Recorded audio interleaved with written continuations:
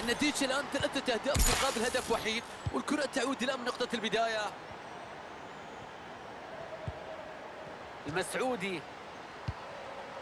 الحربي.